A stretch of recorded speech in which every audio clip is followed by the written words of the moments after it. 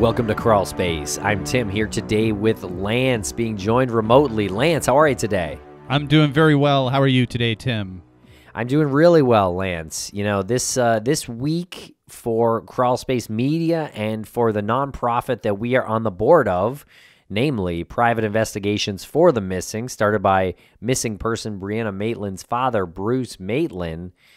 This is a big week for private investigations for the missing. Yeah, this is pretty big because this is the first time that Private Investigations for the Missing is working with two investigators on a case. These investigators are working pro bono. It's the first time that we can see Private Investigations for the Missing in action. That's right. And those two private investigators are well known to our audience, especially if you've listened to the Brianna Maitland series on both feeds, that being Crawlspace and Missing Maura Murray feeds. And the private investigators are Greg Overacker and Lou Barry. And as you said, they are doing this case pro bono as asked by Bruce Maitland to sort of publicize the nonprofit a bit more.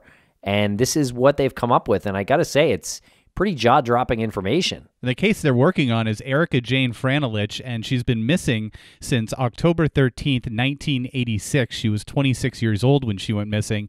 There was a number of reasons why they picked this case. One, the availability of people who were involved with the case, they were able to speak with these people persons of interest who they were able to speak with, and uh, just the geographic location, the solvability, and and Bruce had reached out to them and said, use your best judgment on which case you want to start with. That's right. And so this is really the goal of private investigations for the missing. So this is why this service is so important and needs to be funded. And we want to remind you there is a link to donate in the show notes. There's a GoFundMe and there's also a website. It's investigationsforthemissing.org. Check it out. And there's also some social media pages. You can find those links in the show notes too. And you know, it would be great if all of this could be done for for no money. Uh, but when you need to look into a case as deeply as these two have looked into Erica's case, you have to pay for hotel rooms, you have to pay for food, you have to pay for travel, you have to pay for a number of uh, uh, miscellaneous expenses, and all of those expenses add up. And these two, uh, Lou and Greg, were generous enough to say, "Hey, we got it this time." And put together, you know, kind of a list of what the costs end up for something like this. And then you'd have a good sense of what each private investigator would be up against uh, if they needed to come to the organization and request money if, if uh, the connection was made for other cases. So it's, it's a good starting point. It's a, it's a great case that they're starting on. It's an invaluable service to the family. And then we're going to have a really good template for future cases. Right. And for this to work fully, we need everyone to share. You know, everyone listening out there right now, please, all we're asking for is a retweet or something like that and share with your friends. And uh, before we play the interview, also just want to let you know there are a lot of names. Erica Jayne Franolich is the missing woman. Richard is her husband. And Ricky Jr., or Ricky, is their son. Obviously, all those names are spoken about a bit. I just wanted to uh, be clear about that right at the top, though. And the area in which we're talking about is a town called Middleburgh, New York. And this is a town that is uh, close to Albany. It's a it's an hour or so from Albany. Uh, Schenectady, Poughkeepsie is is within the range there. Uh, Cooperstown, Saratoga Springs. If anybody is listening in that area as well, make sure you spread the word amongst the people up there because after you hear this interview, you'll you'll start to understand that the whereabouts of Erica probably didn't go very very far past this uh, this general radius. Right, but I would also say that to our Brianna Maitland listeners in the area of Vermont to make sure you tell your neighbors and your friends too because this case has a connection to that same area of Vermont and perhaps even the Brianna Maitland case. I mean, Brianna's name is mentioned a little bit here in the interview. And this is just part one, Lance. Part two is going to be posted on both feeds tomorrow on Thursday, April 9th. And the reason is to make a maximum splash here. Yeah, you're totally accurate with that, Tim. The maximum splash is what we're going for. We have two, I would say, relatively popular true crime podcasts that have feeds that you can use in order to uh, disseminate information like this. So, why not just take the opportunity, use those feeds to get as much information out there about a very solvable case? Erica Jayne Franolich's case is very solvable. And again, she was 26 years old. She disappeared on October 13th, 1986, five foot four inches, 100 pounds. She was wearing a baggy shirt and blue denim overalls. She's a Caucasian female, brown hair, brown eyes, and Erica's two upper front teeth protrude a little bit. She has a mole on her left knee. And anyone with information on Franolich's disappearance, please call 518 630 1700.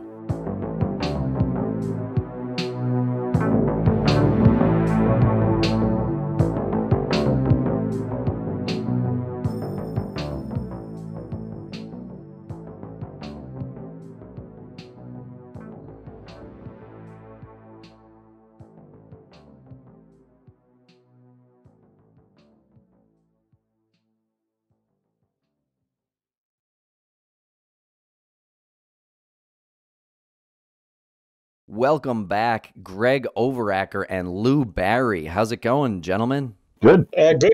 Good. Great. Well, how are you guys holding up in this environment? Are you um are you sequestering yourselves in your respective homes or are you still out and about doing uh, superhero work? I'm deep in the bunker. yeah, I'm pretty much grounded myself. Okay, well that's good news. Well, we are here today to discuss a missing person case that uh, you fellas are working pro bono for private investigations for the missing. Yeah, it's Right. an interesting one too. Is this the first case from uh, private investigations for the missing that that has been assigned to uh, licensed investigators? Yeah, uh, really, except for working on um, Brianna's case. I think this is the first one that the nonprofit has taken on. That's awesome. Yeah, great step. Th- this was asked. Uh, Bruce asked us to decide on one to work as the first case for the nonprofit. You know, because we don't consider Brianna's for the nonprofit. So we were asked to pick, choose one, and because we're, we weren't getting paid, we wanted to choose one that was kind of between the two of us. Which, you know, I'm here in New York and he's there in Massachusetts. And uh, how far apart are we, Lou? Like three hours? Uh, Yeah, probably two and a half, something like that. Yeah. So we tried to pick something that was kind of easy access for both of us. It didn't really work out that way too well, but uh, Lou had initially found one. Why don't you tell him about that one, Lou? Uh, yeah, that was a local case that I was somewhat familiar with, um, and I actually sat down with the family members, and uh, it's definitely a solvable case, but um, just for a variety of reasons, particularly some of the people that we were dealing with, it wasn't real practical for us to take it up at this point in time. Um, simply because Greg is, you know, two and a half hours away, and it's the type of case where you really needed multiple people at the same time working on it. So um, we met with them, discussed it with Bruce, and, and decided it probably wasn't a good case to take on right now. But in the meantime, Greg had found one um, up in his backyard that uh, really fit the bill. So go ahead, Greg. You can. Uh, So the one that I found, I, I couldn't find a lot of information on the internet about it, and I I tried. I mean, there's a few articles out there, a couple small interviews you can find. I hope you guys can put those in the links for people to read and uh, watch the, the video. But um, it's really strange. It's about it's about 50 minutes from where I live, and it's down near. Uh, it's in uh, Schoharie County, New York, which we used to go there. I remember going there on school trips. There's a tourist destination there called Howe Caverns, which is a really cool place if you ever get a chance to go there. But the area is littered with caverns, and the reason there's th- this particular one is a is a tourist destination as opposed to the others is a lot of them fill with water during the certain seasons, and this one doesn't, and it's really large. But when you eh, there's a main road that travels east to west here, and when you go from where I live down to where uh, this area is where this girl went missing, you cross over into Schoharie County. It's a whole different world. Um, the landscape changes dramatically. Uh, it's a little hard to explain, but there's there's freshwater springs. There's everywhere. There's wells. There's caves, cave systems. It's really sparsely populated, extremely rural.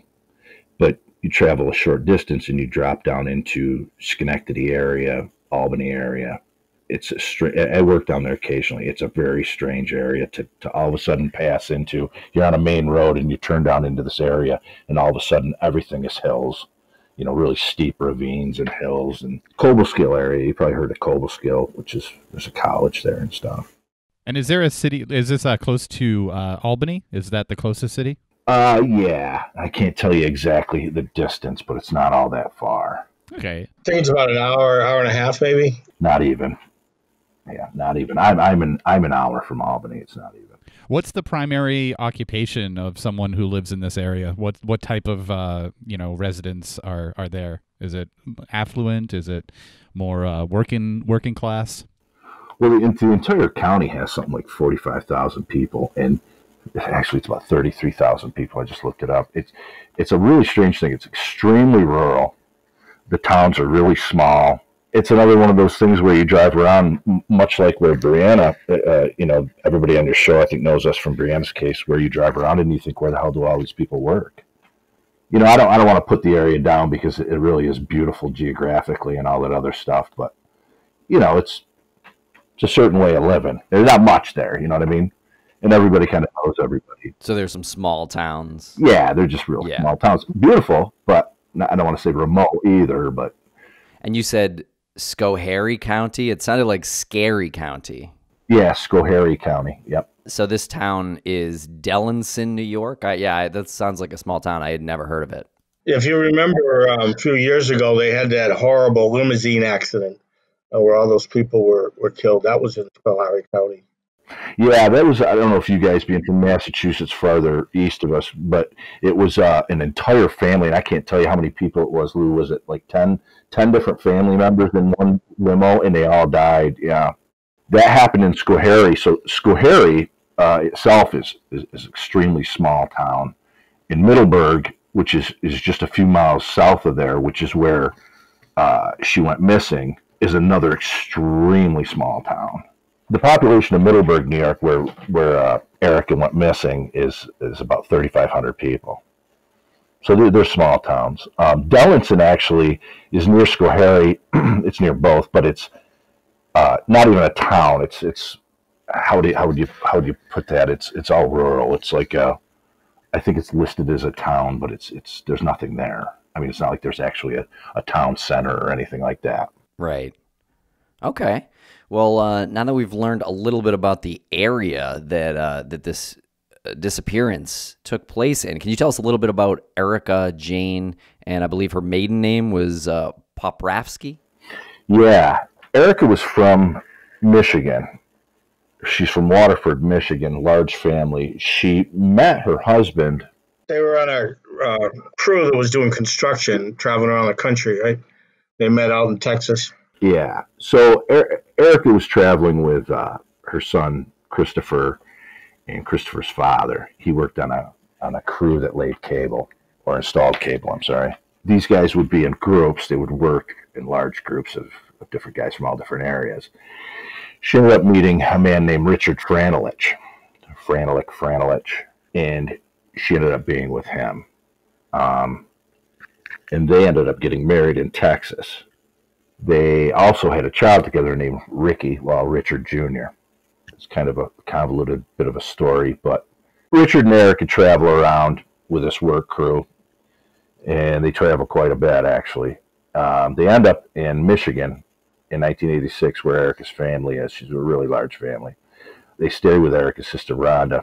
I speak to Erica's sister, uh, Nada, N A D A, quite often and she describes their relationship as, as not good. I mean, uh, a lot of drug use, a lot of physical abuse.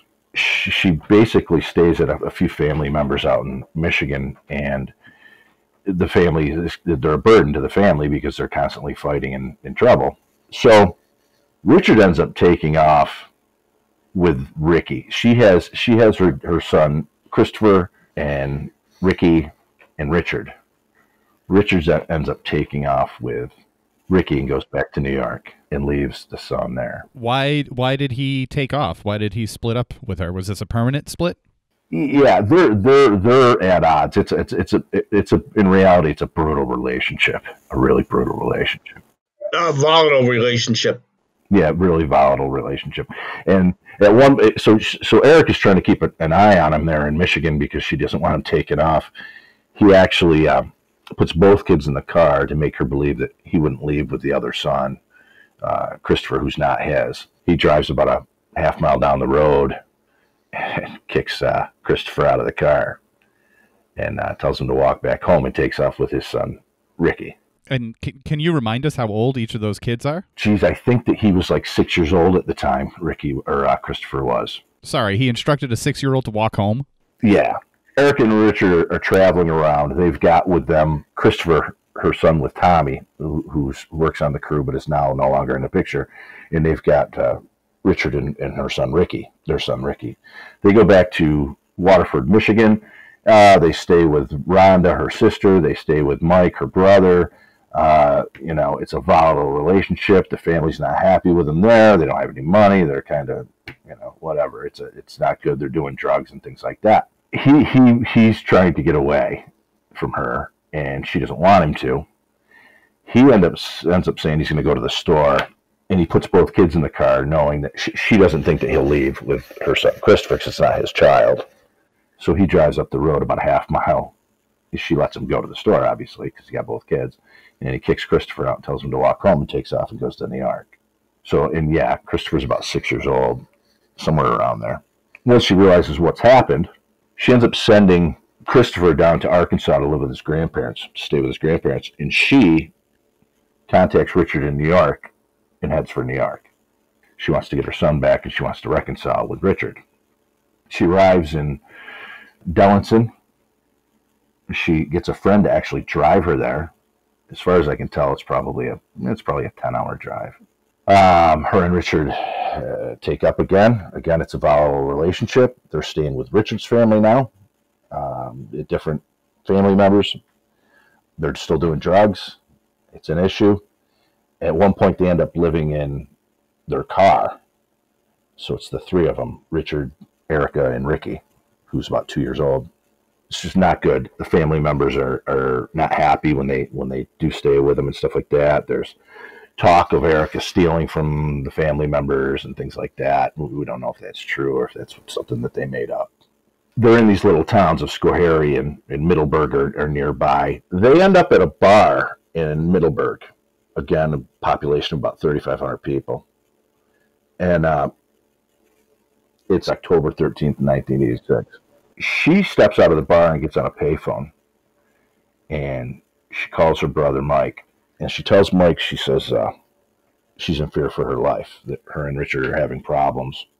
They've been fighting, and that she thinks he's going to kill her. They're seen fighting in the bar. They're seen fighting outside of the bar. There's witnesses to that the phone call is verified.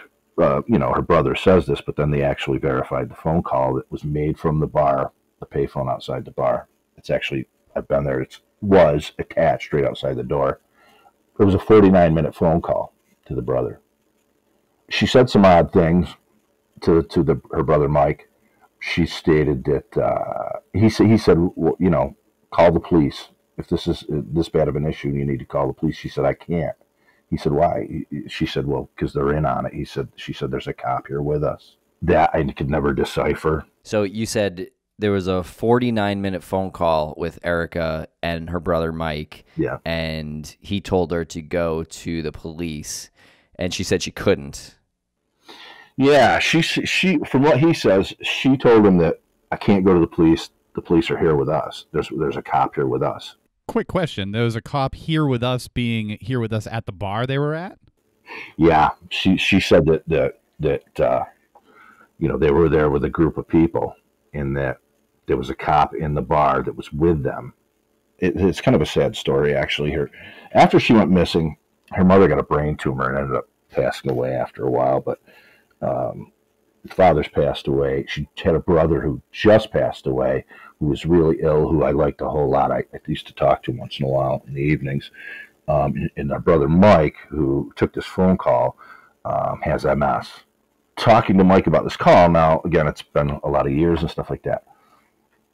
My question to him was, it was a 49 minute phone call. You know, she had to say more than I'm just, I'm in fear for my life. He said, yeah, he, she, she was pleading with me that he's going to kill me. And um, he, he, she, she really had nowhere to go anywhere. Um, it's this isn't a town you could just walk from, like where I live. You, I can walk from my house to the thruway, but there's nowhere to go. I mean, it's just a little town. So uh, the sheriff's department is quite a ways away in another in Schoharie. Um, you know, it's eight miles up the road or something. But um, she had no money. She told him that I have no money, I have nothing.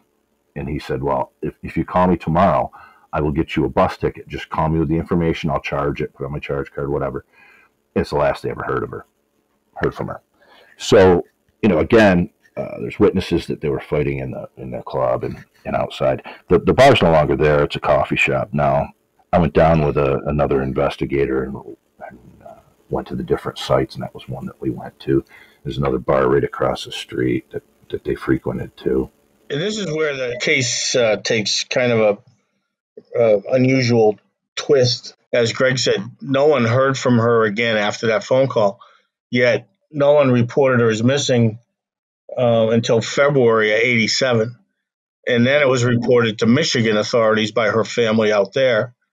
So they contacted New York, and New York said, well, she's not here. And that's where the case sat for what, seven years, I think, Greg? Yeah, there was some weird circumstances there. So Nada, her sister, reports her missing February, I think it's, I don't have it right in front of me, I think February 25th, 25th.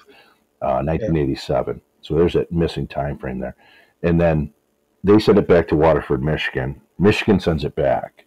What ends up happening is, uh, is um, uh, the state police end up st- sending someone to do uh, uh an initial questioning.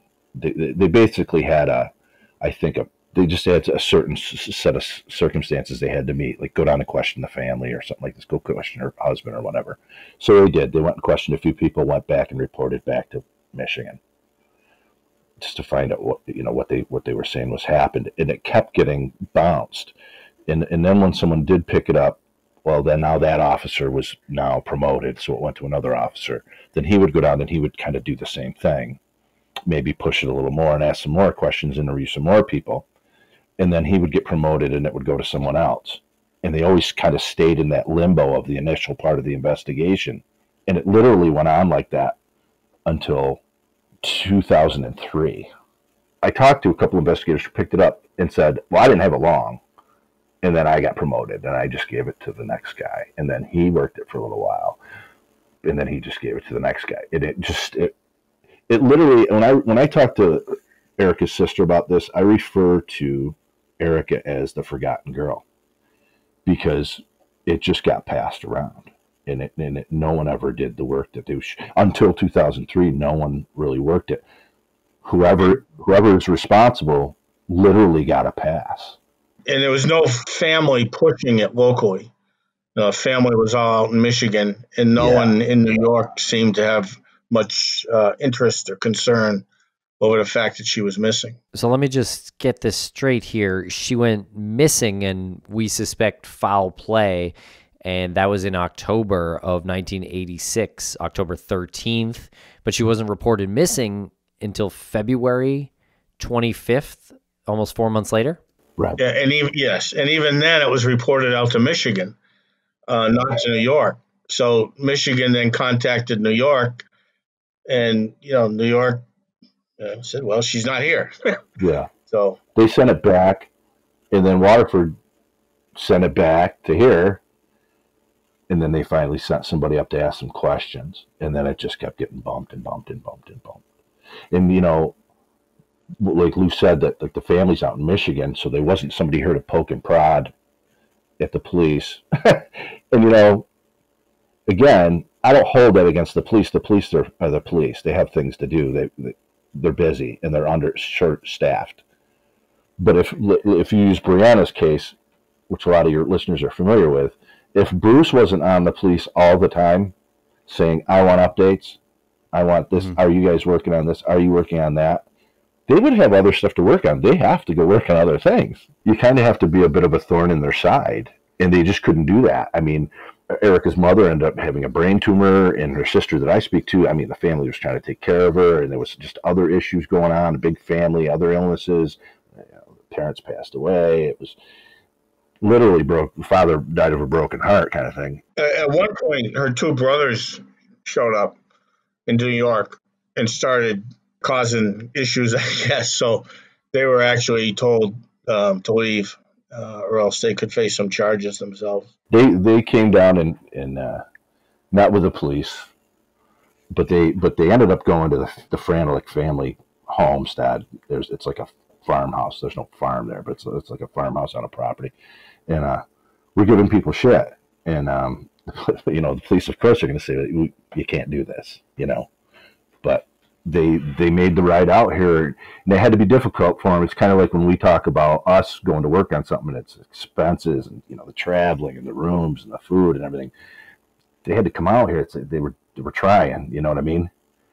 When you when you talk to people about this that were in the know they say look somebody was given a big pass on this no one was ever put under the under the lights you know what i mean she was missing for months and no one even knew no one even you know, the family out in Michigan had things going on. And, and then it got to the point where, you know, Jesus, she's not calling us. We can't get a hold of her. And, you know, they kept trying, they kept trying, and uh, had to eventually go to the police. Was there any media coverage during this time? No. There's almost no coverage of this. Schenectady, which is where the, the newspaper comes out of for that area, over the years did some articles on it. But I think that was kind of pushed by one particular investigator who handled the case from 2003 until he retired in 2012. He was the one guy, the one guy that really went after it, that really worked the case. And he worked it hard. He worked it real hard. Yeah, and pretty amazing guy. He, he was the one I think that prompted that. So there was a, there's a few articles that you can find, newspaper articles, and there's I think one interview that Lou found TV interview, and they they asked her husband to come on and speak to answer questions, and he he won't do it. The investigator that you referenced, who worked it hard, what year, what time frame was that, and how long did he work it? He picked it up in 2003, and he worked it until his retirement in 2000. I think it was 12. And are you referencing any of his work? I mean, you're you're obviously referencing some of his uh, his files. Are you working directly with him, or is he providing any sort of uh, advice or uh, consultation? He gave us the basics, but I mean, he, he's a retired state trooper, and he can't discuss the case. So I mean, he, he could take us and say, "Look, this is where this is. This is where that is. This is the time frame that this, that, and the other thing happened, but no more than that." Basically, he only told us what was already in the media. Yeah, yeah. But it was nice to hear from him because he could kind of walk yeah. you through and point things out. Well, yeah, he had some real good insight into things. But yeah, uh, you know, he's in a difficult position. Yeah. It was essentially uh, like starting from scratch. Yeah, yeah. It's a, it was a weird thing, and um, we ended up talking to. Uh, well, I have I have the family hired private investigators out of Albany, so we have some of their work I haven't spoken to them yet, but I do have some of their written work, some of their interviews, stuff like that. Is that stuff pretty helpful? Yeah, yeah, it was very helpful. Well, some was, yeah. some of it was. Yeah. Um, I mean, you know, you you can tell sometimes by reading reports what's going on, but you know, there'd be a report where he he did surveillance for four hours and, and so I didn't see anything. Well, yeah, that's kind of can be kind of common, but what do you expect to see? You know, five years later. Yeah, yeah, I mean, yeah. Yeah, so, they're kind of soaking, making a buck off of the family, which is sad. Yeah. But there, there are interviews there, and there's dates and times and things like that, and kind of where people yeah. were and who they were living with and stuff like, which helps out a lot. But I don't want to jump ahead here too much, but one of the one of the things we talked about um, when we were looking for a new case was we we wanted to stay out of Vermont because we worked so much on Brianna's case up there, and we you know had a good relationship with the state and all that. Before you say anything, for the for the listeners who know us from Brianna's case, this is this is an atomic bomb. That's this is the bomb that's you're going to drop. because this this is the twist in this case that we had no idea was even going to take place. That was even so. Maybe I should tell a little bit more of the lead up before you tell them that. Sure, sure. So after the the phone call from the bar, uh, the 49 minute phone call at 8:15 p.m. on October 13th, 1986. No one hears from Erica ever again. She's at the bar. She's arguing with her husband. She's outside the bar. There's an argument going on there. There's witnesses to that. So eventually, she, uh, her husband is interviewed. You know, where's your wife? He says, well, a few days before Halloween, I took her down to Schenectady and I put her on a bus, a Greyhound bus, to go back home. Uh, where did she get the money? He said, well, she had $280 on her. Put her on the bus and she took off. That's the last I ever saw of her. Basically, that's his out is this is why I didn't report her missing because I thought she went back home. How do you guys find that story? Well, we know that it's not true. Um, we know that it's for an absolute fact it never happened, and I, I can't really go into that. But we know that it's no one believes it. They don't even believe it. But that's the story he still tells, and his brother tells and this is the story he's told the family and stuff like that too. But they, they don't believe him either. But to this day, if you ask him, that's the story he'll tell. Well, I dropped her off at a few days before Halloween. I dropped her off the bus stop, and that's the last I ever saw of her. So they got a big family. Her, her, her husband's family is large. Uh, they live in this farm house, and there's uh, a couple other properties there that are associated with the farmhouse and the family or whatever. His brother is a brother, Joseph, who moves away and eventually moves up north. And well, they, they, they actually both resided in Schenectady for a while. They kind of hopped around that area a little bit. Real bad drug problem involved too. Um, kind of leaving his child, Ricky. Eric is in his son uh, with different people. One being Joe's wife, who Joe leaves. But eventually, Joe moves north, and um, Richard follows. And one of the reasons is, is, at least it's surmised by everyone who's involved, who's ever been involved with this case, every investigator, is that if he hangs around Delanson in Middleburgh Schoharie area, everyone thinks he killed his wife. Not some people, everyone. so even today, when you go down there, and I, I don't even know the people down there, and I go down there and start asking questions and hang up a poster, this first thing people say is he killed her. And He's a young guy. Everyone's eyes are on him. No one bothered him for a longest time. I mean, they came and asked him questions after a while, but it took a while before anyone even asked him. And then they just left. They just asked him some questions, took a statement, and left. Left him alone again. He ends up moving down to Schenectady, lives there for a while. And then this is where Lou, this is the, the, the bomb of this whole story. Yeah. So at some point, Joe decides to leave the area and he moves, like Greg said, up north. But he moves up north to northern Vermont, soon to be followed by Richard. Now, all of a sudden, our focus has shifted from New York back up to familiar territory again in the um, St. Albans area of Vermont. So I started contacting some people up there to see if anyone knew them. And lo and behold, young Ricky had dated one of Brianna, Brianna's best friends in high school. All of a sudden, the two cases kind of collide together. So, Richard Franolich's wife mysteriously goes missing in Middleburgh, New York. He moves up to Vermont, and you could hit a golf ball from where he lives, just about to where Brianna Maitland went missing. Okay, so what's going through your your heads when you learn of this information? Are you just thinking this is total coincidence and you know the universe is dealing you some some sort of a you know sense of humor? Yeah, I would say that you know certainly a coincidence. Um, whether it's more than that remains to be seen. Yeah, it's that's that's a horrible set of uh, uh, luck to uh, have your wife go missing and move up to northern Vermont and have a young girl go missing. That's literally the distance of a just a township away. Yeah, and his son's ex girlfriend's best friend. Yeah, yeah, strange. So Richard now lives in northern Vermont, and we happen to know that we have a lot of listeners in that area because of the Brianna Maitland disappearance coverage that we do, obviously, with you guys too. So we know a lot of people from that area do check in to the show. So, well, that's pretty wild that that he's in that same area. It is. You know, I called Lou and I said, Lou, you're not going to believe this. You know, because I had been working the case down here, and I said, Richard moved to Vermont and I told him where, and he said he he did a little check, and he said, "You're not going to believe this. Richard's son Ricky dated one of Brianna's best friends. So, oh what what are the chances of that? What are the chances that your wife goes missing and you move to Vermont and you move to an area and then suddenly this young girl goes missing.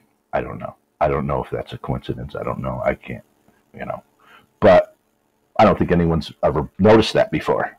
Well, how long has he been up in that area of northern Vermont? So I think they moved up there around 92. So Joe moves up there, his brother Joe, his brother, uh, uh, and Richard moves up there, follows him, and um, take up residency there. Now, the whole thing just, you know, seems odd. I mean, I, I spoke to him briefly, um, and the conversation kind of went south pretty quick, but, um, you know, he, he never reported her missing. Of course, his, his answer to that is, well, I put her on a bus. I, I didn't know she was missing. But he also never tried to have her claim deceased or anything like that. I mean, Yeah. he's he's never looked for her. He'll tell you he did. He never he never looked for her. Um, and we know that the bus story is complete and utter bullshit. It's not true. It's not even close to being true. We factually we know that it never happened. So did he know Brianna or any connection like that? Just Well, his his, Son did. his son dated her best friend, so we don't know. They, they all went to, uh, how you pronounce it, Missisquoi High School, Yeah. MSU.